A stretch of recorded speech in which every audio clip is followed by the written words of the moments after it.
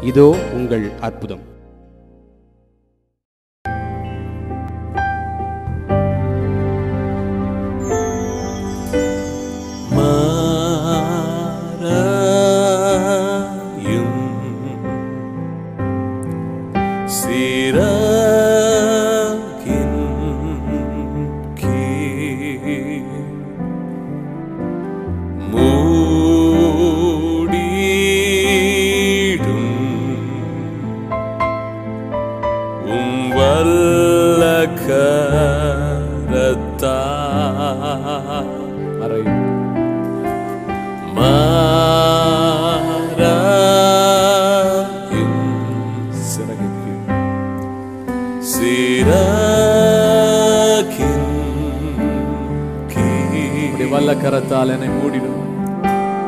மூடிடும்.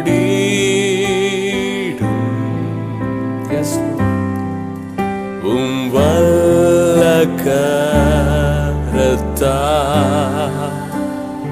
அலைகள் மோதி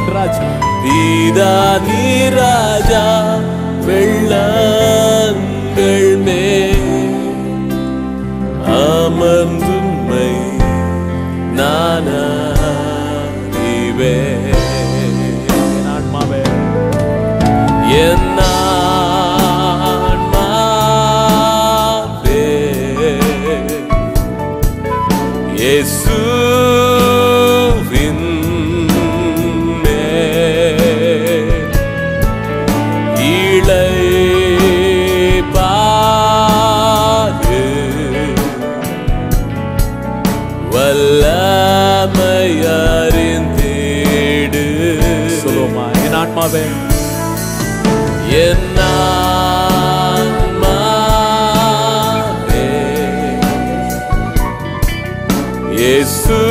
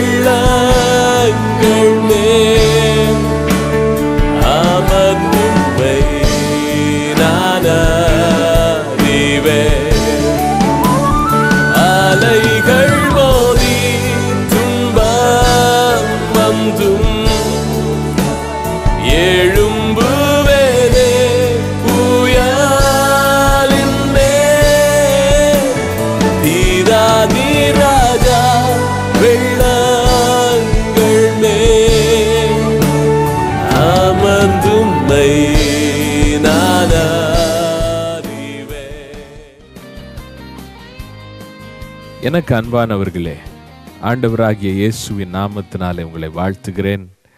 இந்த புதிய வருடத்தினுடைய ஆசீர்வாதத்தை உங்களுக்கு நான் பகிர்ந்து கொள்வதில் மகிழ்ச்சி அடைகிறேன். இது ஒரு விசேஷமான நாள் புதிய ஆண்டை நாம் காண்கிறோம். எத்தனை பெரிய பாக்கியம் எத்தனை பெரிய ஸ்லாக்கியம் தேவனே இந்த ஆண்டை நமக்கு கொடுக்கிறார். கடந்த ஆண்டு முழுவதும் அவர் நமக்கு போதுமானவராக இருந்திருக்கிறார். அவருடைய கரம் அதிசயங்களை நமக்கு செய்திருக்கிறது. அற்புதமாய் நம்மை நடத்தி இருக்கிறது நம்மை பாதுகாத்திருக்கிறது. நம்முடைய தேவைகளை சந்தித்திருக்கிறது. ஆண்டவருக்கு நாம் நன்றி சொல்ல வேண்டும். அதே நேரத்தில் இந்த புதிய ஆண்டில் நாம் பிரவேசிக்கும் பொழுது ஆவலோடு நீங்கள் ஆண்டவர் என்னோடு என்ன பேச போகிறார்? என்னுடைய சூழ்நிலைகளுக்காக ஆண்டவர் என்ன வைத்திருக்கிறார் என்று நீங்கள் அவளோடு இருக்கிறீர்கள். தேவன் உங்களுக்காக வைத்திருக்கிற வாக்கு தத்தம் சங்கீதம் புஸ்தகம் நாற்பத்தி ஆறு பத்து. நீங்கள் அமர்ந்திருந்து நானே தேவன் என்று அறிந்து கொள்ளுங்கள். ஜாதிகளுக்குள்ளே உயர்ந்திருப்பேன். பூமியிலே உயர்ந்திருப்பேன். நீங்கள் அமர்ந்திருந்து நானே தேவன் என்று அறிந்து கொள்ளுங்கள். ஹalleluya எத்தனை பெரிய ஒரு வாக்கு தத்துவம் ஆண்டவர் இன்றைக்கு உங்களை பார்த்து சொல்லுகிறார் மகனே நீ அமர்ந்திரு. மகளே நீ அமர்ந்திரு. என் பிள்ளையே நீ அமர்ந்திரு. நீ அமர்ந்திருந்து நான் ஒருவரே தேவன் என்பதை அறிந்து கொள். அது போதும். நான் ஒருவரே தேவன். உன் சூழ்நிலைகளை காட்டிலும் நான் பெரியவர். உன் தேவைகளை காட்டிலும் நான் பெரியவர். உன் பிரச்சனைகளை காட்டிலும் நான் பல கோடி மடங்கு பெரியவர். உன்னுடைய தேவைகளை காட்டிலும் நான் மிக பெரியவர். நான் தேவன் நான் மனிதன் அல்ல. நான் தேவன் என்று கர்த்தர் சொல்லுகிறார். நான் தேவன் என்பதை நீ அறிந்து கொள். உன்னுடைய பிரச்சனைகளை நீ பெரியதாய் பார்க்கிறாய். ஆனால் நானே உன் தேவனாய் இருக்கிறேன். உன் பிரச்சனைகள் எனக்கு ஒன்றும் இல்லாதது. உன்னுடைய தேவைகள் எனக்கு முன்பாக ஒன்றுமே இல்லை. உன்னுடைய வியாதிகள் எனக்கு முன்பாக ஒன்றுமே இல்லை. உன்னுடைய கடன் பிரச்சனை எனக்கு முன்பாக ஒன்றுமே இல்லை. உன்னுடைய சூழ்நிலைகள் எவ்வளோ பயங்கரமான சூழ்நிலையாக இருந்தாலும் அது ஒன்றுமே இல்லை. நான் தேவன் நான் தேவன். நீ அமர்ந்திருந்து நானே தேவன் என்பதை அறிந்து கொள் என்று ஆண்டவர் சொல்லுகிறார். பல நேரங்களில் நம்முடைய வாழ்க்கையில் நாம் கலங்கி போகிறதற்கு காரணம் என்ன? தேவன் எவ்வளோ பெரியவர் என்பதை நாம் பார்க்க மறந்து விடுகிறோம். நம்முடைய குறைகளை நம்முடைய கஷ்டங்களை நம்முடைய வியாதி எவ்வளோ பெரியது நம்முடைய சூழ்நிலை எவ்வளோ பெரியது நம்முடைய பண தேவை எவ்வளோ பெரியது இதை தான் நாம் ஆராய்கிறோம். இதையே தான் உட்கார்ந்து யோசிக்கிறோம் யோசிக்கிறோம் யோசிக்கிறோம். யோசிக்க யோசிக்க யோசிக்க நம்முடைய இருதயம் அவிசுவாசத்தினால் நிரம்புகிறது. பயத்தினால் நிரம்புகிறது. கலங்கி போகிறோம். திகைத்து நிற்கிறோம். ஐயோ இவ்வளோ பெரிய பிரச்சனை. ஐயோ இவ்வளோ பெரிய சூழ்நிலை. என்னுடைய வியாதி இவ்வளோ பெருசுன்னு மருத்துவர் சொல்லிவிட்டார்களே. மனம் உடைந்து நிற்கிறோம். ஆண்டவர் சொல்லுகிறார் என் மகனே நீ அமர்ந்திருந்து நானே தேவன் என்பதை அறிந்து கொள். என் மகளே நீ அமர்ந்திரு. நானே தேவன் என்பதை அறிந்து கொள். அது ஒரு கட்டளை. ஆங்கிலத்தில் அந்த வசனம் இவ்வாறாக சொல்லப்படுகிறது. Be still and know that I am God be still அப்படியே நிற்கிற வண்ணமாக அப்படியே நில். அப்படியே இரு. நானே தேவன் என்பதை அறிந்து கொள். பொதுவாக நாம் பாடல் பாடுகிற ஒரு சிடி பிளேயர்லையோ அல்லது படத்தை பார்க்கிற ஒரு டிவிடி பிளேயர்லோ ஸ்டில் என்கிற ஆப்ஷன் இருக்கும். அதை நாம் அழுத்தும்போது அப்படியே அந்த பாட்டு எங்கே பாடிக்கொண்டிருந்ததோ அப்படியே நிற்கிறது. அந்த டிவிடி அந்த படம் எந்த இடத்துல ஓடிக்கொண்டிருந்ததோ அப்படியே நிற்கிறது. தரித்து நிற்கிறது. ஆண்டவர் சொல்லுகிறார் அப்படியே நில் அப்படியே நில். வேற எந்த காரியத்தை குறித்தும் நீ யோசிக்க வேண்டாம். அப்படியே நின்று ஒரே ஒரு காரியத்தை நீ நோக்கி பார் நீ நோக்கி பார்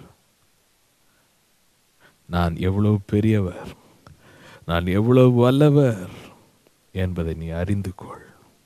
நானே தேவன் என்பதை அறிந்து கொள். வேறு எனக்கு இணை என்னுடைய வல்லமைக்கு இணை வேறு எதுவும் இல்லை உன்னுடைய வியாதி எனக்கு இணை அல்ல. உன்னுடைய பண கஷ்டம் எனக்கு இணை அல்ல. உன்னுடைய கஷ்டங்கள் எனக்கு இணை அல்ல. என்னுடைய வல்லமைக்கு முன்பாக அவைகள் ஒன்றுமில்லை. அவைகள் ஒன்றுமில்லை. நானே தேவன் என்று அறிந்து கொள். இந்த அறிவு நமக்கு வந்துவிட்டால் போதும். நம்முடைய வாழ்க்கை ஒவ்வொரு நாளும் அற்புதங்கள் தான். ஒவ்வொரு நாளும். தேவன் தான் எல்லாவற்றிற்கும் மேலானவர். அவரை மிஞ்சி ஒன்றுமே இல்லை. எந்த தேவை எந்த பிரச்சனை எந்த சூழ்நிலை எந்த வியாதி அவருக்கு மிஞ்சி ஒன்றுமில்லை என்பதை நாம் அறிந்து கொள்வோம் என்றால் ஒவ்வொரு நாளும் இந்த புதிய ஆண்டு ஒவ்வொரு நாளும் ஒவ்வொரு நிமிஷமும் ஒவ்வொரு நாளும் அற்புதங்கள் வாழ்க்கையில் அளவில்லாமல் நடைபெறும். நீங்கள் அதை காணப்போகிறீர்கள். ஆகையினால் இந்த ஆண்டில் நீங்கள் எடுக்க வேண்டிய முதல் தீர்மானம் அமர்ந்திருந்து. வேற எந்த காரியத்தை குறித்தும் உங்கள் பிரச்சனைகளை குறித்து யோசிக்கிறதை கேன்சல் செய்துவிட்டு தேவன் எவ்வளோ பெரியவர். அதை நீங்கள் அறிந்து கொள்ளப் போறீர்கள். வேதாகமத்திலே தேவனிடத்தில் அமர்ந்திருந்த ஒரு குறிப்பிட்ட நபரை லூக்கா எழுதின சுவிசேஷம். பத்தாம் அதிகாரம் முப்பத்தி எட்டு முதல் நாற்பத்தி ரெண்டு வசனங்களில் வாசிக்கிறோம். மார்த்தாள் மரியாள் என்கிற இரண்டு சகோதரிகள் இருக்கிறார்கள். அவர்கள் வீட்டிற்கு இயேசு வந்தார். மார்த்தாள் பல வேலைகளை செய்கிறதிலே கவலை அடைந்தாள். அவள் ஆண்டவரிடத்தில் வந்து சொல்லுகிறாள் என் சகோதரி உதவி செய்யாமல் இருக்கிறாளே என்று சொல்லி இயேசுவின் மேலேயே வருத்தம் அடைகிறாள். ஆனால் மரியாளை குறித்து வேதம் சொல்லுகிறது அவள் இயேசுவின் பாதத்தில் அமர்ந்து முப்பத்தி ஒன்பதாம் வசனம் அவருடைய வசனத்தை கேட்டு கொண்டிருந்தாள் இறுதியிலே ஆண்டவர் சொல்லுகிறார் மார்த்தாளே மார்த்தாளே நீ அநேக காரியங்களை குறித்து கவலைப்பட்டு கலங்குகிறாய். தேவையானது ஒன்றே. மரியாள் தன்னை விட்டு எடுபடாத தான் இழக்க முடியாத நல்ல பங்கை தெரிந்து கொண்டாள். எனக்கு அருமையானவர்களே மார்த்தாள் வேலை செய்தது தவறா? ஒருவேளை ஆண்டவருக்கே கூட அவள் உணவு சமைத்து கொண்டிருந்திருக்கலாம். நல்லதுதான். ஆனால் ஆண்டவருக்கு என்ன பிரியமோ அதை அந்த நேரத்தில் அவள் கேட்டிருக்க வேண்டும். அவருக்கு என்ன பிரியமோ நமக்கு இஷ்டப்பட்டது அவர் கொடுக்கறதில்ல. அவருக்கு என்ன பிரியமோ அதை நாம் அறிந்து அவருக்கு செய்யும் பொழுது அவருடைய இருதயம் சந்தோஷம் அடையும். இந்த மார்த்தாள் தன்னுடைய சொந்த பலத்தில் தன்னுடைய சொந்த சக்தியில் நான் இதை செய்யணும் அதை செய்யணும் அப்படி செய்யணும் இப்படி செய்யணும் என்று சொல்லி பிரயாசப்படுகிறாள். அவளுக்கு வந்தது என்ன? சளைப்பு. களைத்து போய் விடுகிறாள். என்ன இவ்வளோ கஷ்டப்படுறோம்? இந்த இயேசுநாதருக்கு. அவர் நம்மளை பார்த்து கொஞ்சம் கூட ஈவு இறக்கத்தோட நமக்கு இந்த சகோதரி என் தங்கச்சியை அனுப்பி வைக்கலாமே என்று இயேசுநாதர் மேலே அவளுக்கு சலிப்பு வந்தது. காரணம் சொந்த பலத்தில் ஓடுகிறாள். மரியாள் செய்கிற காரியம் மரியாள் உள்ளத்திலே நானும் ஆண்டவருக்கு கொடுக்க வேண்டும். ஆனால் அவர் என்ன விரும்புகிறார்? அதை நான் அறிந்து அவர் கொடுக்க வேண்டும். என்ன நடந்தது? அந்த இடத்துல அவள் இயேசுவின் பாதத்தில் உட்கார்ந்தாள். ஆண்டவர் பேசினார். பேசினார் பேசினார் பேசினார். அற்புதமாய் பேசுகிறார். எதை குறித்து பேசினார்? எதை குறித்து பேசியிருப்பார்? நான் நம்புகிறேன் அவர் இந்த உலகத்தில் எதற்காக வந்திருக்கிறார் என்பதை குறித்தும் இந்த முழு உலகத்தினுடைய பாவத்திற்கு ஒரு முடிவு புள்ளி உண்டாக்க வந்திருக்கிறார். ஜனங்களுடைய சாபங்களிலிருந்து விடுதலை ஜனங்களுடைய ஆத்துமா நரகத்துக்கு போகாமல் இனி பரலோகத்துக்கு போவதற்குரிய விலைக்கரையத்தை செலுத்த வந்திருக்கிறேன். ஜனங்களுக்காக நான் ரத்தம் சிந்தி மறிக்கப் போகிறேன். ஆனால் மூன்றாம் நாள் உயிரோடு எழுந்திருக்கப் போகிறேன். நான் அடக்கம் பண்ணப்படுவேன். என்று தன்னுடைய ரகசியமான காரியங்களை வெளிப்பாடுகளை மரியாளிடத்தில் அவர் பேசியிருக்க வேண்டும். அவள் கேட்டுக்கொண்டே இருக்கிறாள். அந்த நாளின் அந்த வசனத்தின் இறுதியிலே ஆண்டவர் சொல்லுகிறார் மரியாள் தன்னை விட்டு ஈடுபடாத நல்ல பங்கை தெரிந்து கொண்டாள். என்ன பங்கை தெரிந்து கொண்டாள்? எப்படி பங்கை தெரிந்து கொண்டாள்? அமர்ந்திருந்ததினாலே. யோவான் எழுதின சுவிசேஷம். பன்னிரெண்டாம் அதிகாரத்தில் நாம் வாசிக்கும்போது இதே மரியாள் அந்த இடத்திலே இயேசு இடத்துல வருகிறாள். பனிரெண்டு மூன்று சொல்லுகிறது அப்பொழுது மரியாள் விலையேற பெற்ற களங்கமில்லாத நளதம் என்னும் தைலத்தில் ஒரு ராத்தல் கொண்டு வந்து அதை இயேசுவின் பாதங்களில் பூசி தன் தலைமயிரால் அவருடைய பாதங்களை துடைத்தாள். அந்த வீடு முழுவதும் தைலத்தின் பரிமளத்தினால் நிறைந்தது. எத்தனை பெரிய ஒரு வாக்கியம் பாருங்கள். மரியாள் வருகிறாள். இயேசுவின் பாதத்திலே அவ்வளோ காஸ்ட்லி விலையேற பெற்ற தைலத்தை ஊற்றுகிறாள். தலை மயிரினால் துடைக்கிறாள். ஏன் அப்படி செய்தாளாம்? அவளுக்கு உள்ளே ஒரு வெளிப்பாடு ஒரு ரகசியம் இருந்தது. பனிரெண்டாம் அதிகாரம் ஏழாம் வசனம் சொல்லுகிறது அப்பொழுது இயேசு இவளை விட்டுவிடு என்னை அடக்கம் பண்ணும் நாளுக்காக இதை வைத்திருந்தாள். எத்தனை அருமையான காரியம் பாருங்கள்.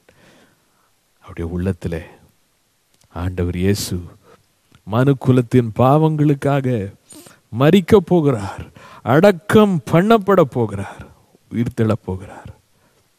அவர் அடக்கம் பண்ண போடும்போது அதற்கு அடையாளமாய் விலையேற பெற்ற தைலத்தை நான் அவளுக்கு அவருக்கு கொடுக்கட்டும் என்று சொல்லி அவர் பாதங்களை தைலத்தினால் கழுவுகிறாள். எத்தனை அருமையான காரியம். பாருங்கள் இந்த மரியாள் இயேசு யார் என்பதை அறிந்து கொண்டாள். அவர் ராஜா அவர் ராஜாதி ராஜா அவர் அபிஷேகம் பண்ணப்பட்டவர் என்பதை அறிந்து கொண்டாள்.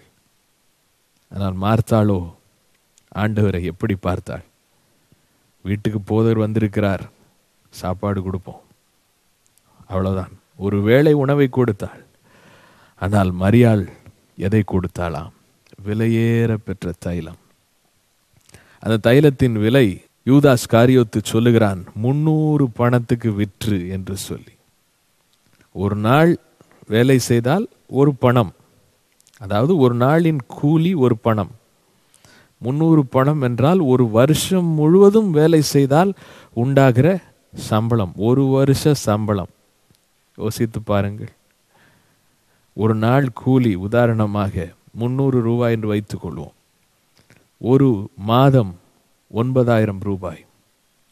ஒரு ஆண்டு சுமார் ஒன்பதாயிரம் இன்ட்டு பனிரெண்டால் நீங்கள் பெருக்குங்கள். ஒரு லட்சத்தி எட்டாயிரம் ரூபாய்க்கு சுமார் ஒரு லட்சம் ரூபாய்க்கு அந்த தைலத்தை போய் வாங்குகிறாள் மரியாளுடைய இருதயத்தில் எவ்வளோ பெரிய ஒரு வெளிப்பாடு இருந்தது பாருங்கள். மார்த்தாள் ஒருவேளை சாப்பாடு கொடுக்க அவ்வளவு கஷ்டப்பட்டு அவள் இயேசுக்கு ஒருவேளை சாப்பாடு போடுவதற்குள்ளாக அதை சலிப்போடு போடுகிறாள். காரணம் அவளுக்கு இயேசு யார் என்பதை குறித்த வெளிப்பாடில்லை. காரணம் அவள் இயேசுவின் பாதத்தில் உட்காரவில்லை. மரியாளோ இயேசுவின் பாதத்தில் உட்கார்ந்தாள் அவள் இயேசு யார் என்பதை அறிந்து கொண்டாள். அவர் ராஜாதி ராஜா மனு குலத்தின் பாவத்திற்கு முடிவு எட்ட வந்திருக்கிறவர். பாவத்தின் வல்லமை முறிக்கப்பட்டது. சாபங்கள் முறிக்கப்பட்டது. வியாதிகள் முறிக்கப்பட்டது. நரக வல்லமை முறிக்கப்பட்டது. அவர் மனு குலத்திற்காக மறிப்பார் அடகம் பண்ணப்படுவார். மூன்றாம் நாள் உயிரோடு எழுந்திருப்பார் என்கிற வெளிப்பாடு அவளுக்குள் இருந்தது. ஆகையினால் கடைக்கு செல்லுகிறாள். ஒரு ஆண்டு அவள் வேலை செய்த வருமானத்தின் பணத்தை கொடுத்து ஒரு சென்ட் பாட்டில் ஒரு தைல பாட்டிலை வாங்கி முழுவதும் இயேசுவின் கால் பாதங்களில் ஊற்றுகிறாள். ஆண்டவருடைய உள்ளம் எவ்வளவு மகிழ்ந்தது எவ்வளவு மகிழ்ந்தது. அவர் சொல்லுகிறார் யுவதாசை பார்த்து இவளை விட்டுவிடு. யாரும் இவளை நீங்கள் தொந்தரவு செய்யக்கூடாது. ஏனென்றால் நான் யார் என்பதை அவள் அறிந்து கொண்டிருக்கிறாள். எனக்கு அருமையான தேவ பிள்ளைகளே நீங்கள் அமர்ந்திருந்து நானே தேவன் என்று அறிந்து கொள்ளுங்கள். ஆண்டவருடைய பாதங்களில் நாம் அமர்ந்திருக்கும் போது அவர் நம்மோடு பேசுவார். அவர் யார் என்பதை நமக்கு வெளிப்படுத்துவார். அவர் யார் என்பதை நாம் விளங்கி கொள்ளும் போது அவருக்காக நாம் அற்பமான காரியங்களை கஷ்டப்பட்டு கொண்டு கொடுக்க மாட்டோம். அவருக்காக மிக சிறந்தவைகளை. அவர் எவ்வளோ பெரியவர். அவருக்கு ஏற்ற கனத்தை அவருக்கு ஏற்ற ஊழியத்தை அவருக்கு ஏற்ற காணிக்கையை அவருக்கு ஏற்ற வாழ்க்கையை அவருக்கு ஏற்ற மகிமையை அவருக்கு கொடுப்போம். சங்கீதக்காரன் சொல்லுகிறான் கர்த்தருக்கு மகிமையை செலுத்துங்கள். கர்த்தருக்கு ஏற்ற மகிமையை கர்த்தருக்கே செலுத்துங்கள். அவருக்கு என்ன மகிமை கொடுக்க வேண்டுமோ அதை அறிந்து நாம் கொடுக்க வேண்டும். அவர் யார் என்பதை அறிந்து கொண்ட போதுதான் அவருக்காக நாம் சிறந்தவைகளை செய்ய முடியும்.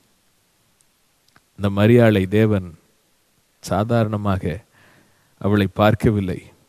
லாசுரு மறித்த போது மார்த்தாலும் அழுகிறாள் மரியாளும் அழுகிறாள். ஆனால் மரியாள் இயேசுவின் பாதத்தில் விழுந்து அந்த பாதத்திலே அழுகிறாள். அவர் யார் என்பதை அறிந்து அழுகிறாள். இயேசு ஒரு அற்புதத்தை அந்த இடத்துல செய்தார். மறித்த லாசுருவை உயிரோடு எழுப்பினார். இன்றைக்கும் உங்கள் வாழ்க்கையிலே ஒரு அற்புதத்தை ஆண்டவர் செய்ய போகிறார். இந்த ஆண்டு உங்களை பார்த்து சொல்லுகிறார் இந்த ஆண்டிலே உன் வாழ்க்கையில் நான் தேவனாக வெளிப்படுவேன். நான் அற்புதமான வல்லமையோடு வெளிப்படுவேன் அதிசயமான வல்லமையோடு வெளிப்படுவேன். உன்னுடைய சொந்த முயற்சி அல்ல உன்னுடைய முயற்சிகளுக்கு அப்பாற்பட்ட விதத்தில் என்னுடைய வல்லமை கிரியை செய்யும். உன்னை விட்டு எடுபடாத நல்ல பங்கை உனக்கு நான் வைத்திருக்கிறேன். நஷ்டமடையாத ஆசீர்வாதங்களை உனக்கு நான் தருவேன். சாத்தான் திருட முடியாத நீ இழக்க முடியாத உன்னத ஆசீர்வாதங்களை உனக்காக வைத்திருக்கிறேன். நீ அமர்ந்திரு. நீ அமர்ந்திருந்து நானே தேவன் என்று அறிந்து கொள். மரியாளை போல நீங்களும் கூட நாமும் கூட. ஆண்டு உம்முடைய பாதங்களில் நான் அமர்ந்திருக்க விரும்புகிறேன். நீர் யார் என்பதை இந்த ரெண்டாயிரத்தி பதிமூணுல நான் அறிந்தாக வேண்டும். எவ்வளவு வல்லமை எவ்வளவு மகிமை உமக்குள் இருக்கிறது என்பதை இந்த ரெண்டாயிரத்தி பதிமூன்றாம் ஆண்டிலே நான் பார்க்க வேண்டும். லாசுருவை உயிரோடு எழுப்புகிறவர் என்பதை நான் பார்க்க வேண்டும். நீர் ஐஸ்வர்ய சம்பன்னர் என்பதை நான் பார்க்க வேண்டும். இந்த மலை போன்ற பிரச்சனையை நீர் தூள் தூளாய் நொறுக்குகிறவர் என்பதை நான் பார்க்க வேண்டும். நீர் யார் என்பதை நான் அறிந்து கொள்ள வேண்டும். நான் அமர்ந்திருக்கிறேன். உண்மை எனக்கு வெளிப்படுத்தும் உண்மை எனக்கு வெளிப்படுத்தும் என்று நாம் கேட்போம். இந்த நேரத்தில் கேட்க போகிறோம். ஆண்டவர் சொல்லுகிறார் ஜாதிகளுக்குள் உயர்ந்திருப்பேன் பூமியில உயர்ந்திருப்பேன்.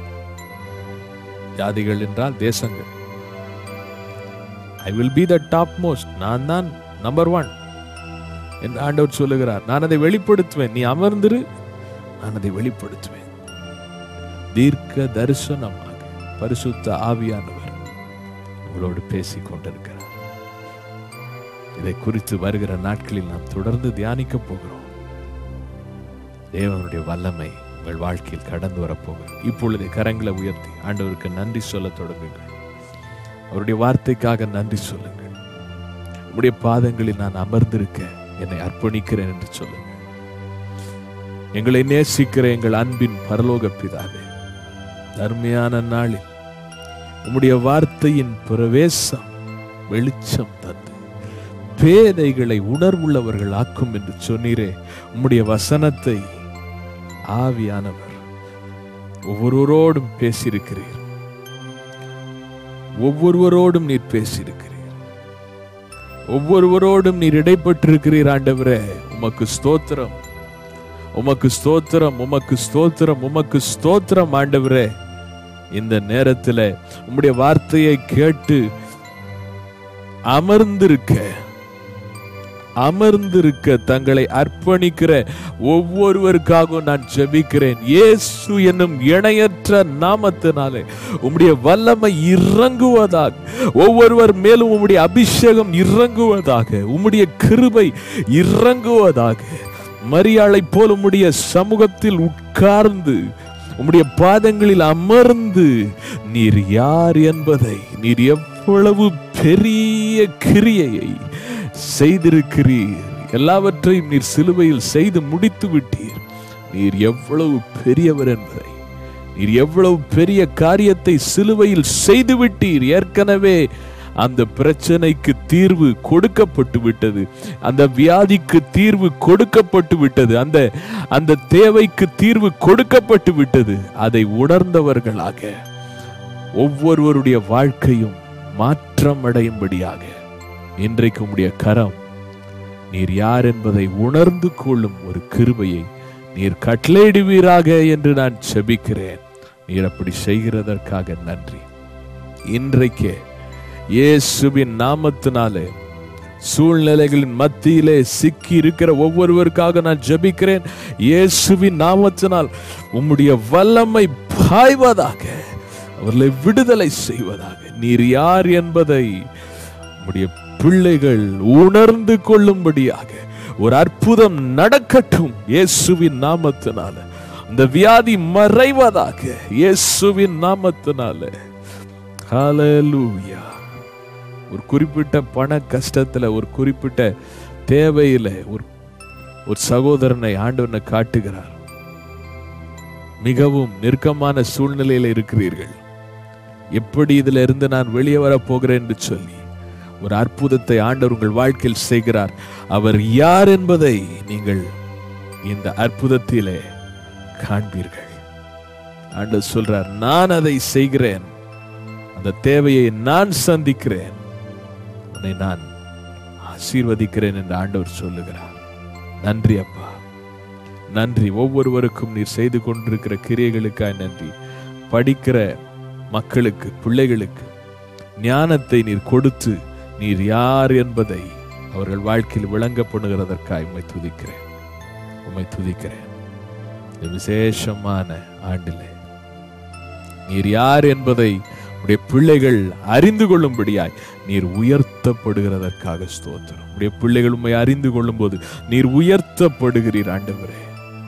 அவர்களை நீர் சாட்சியாக அவர்கள் இருக்கிற இடங்களிலே வேலை செய்கிற இடங்களிலே வசிக்கிற ஊர்களிலே நீர் உம்முடைய பிள்ளைகள் மூலமாக உயர்ந்திருக்கிறதற்காக உயர்ந்திருக்க போவதற்காக உம்மை துதிக்கிறேன் உம்மை துதிக்கிறேன்.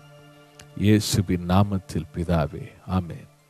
எனக்கு அன்பானவர்களே கத்த நம்முடைய ஜெபத்தை கேட்டு விட்டார் அவர் நமக்கு பதில் கொடுத்து விட்டார்.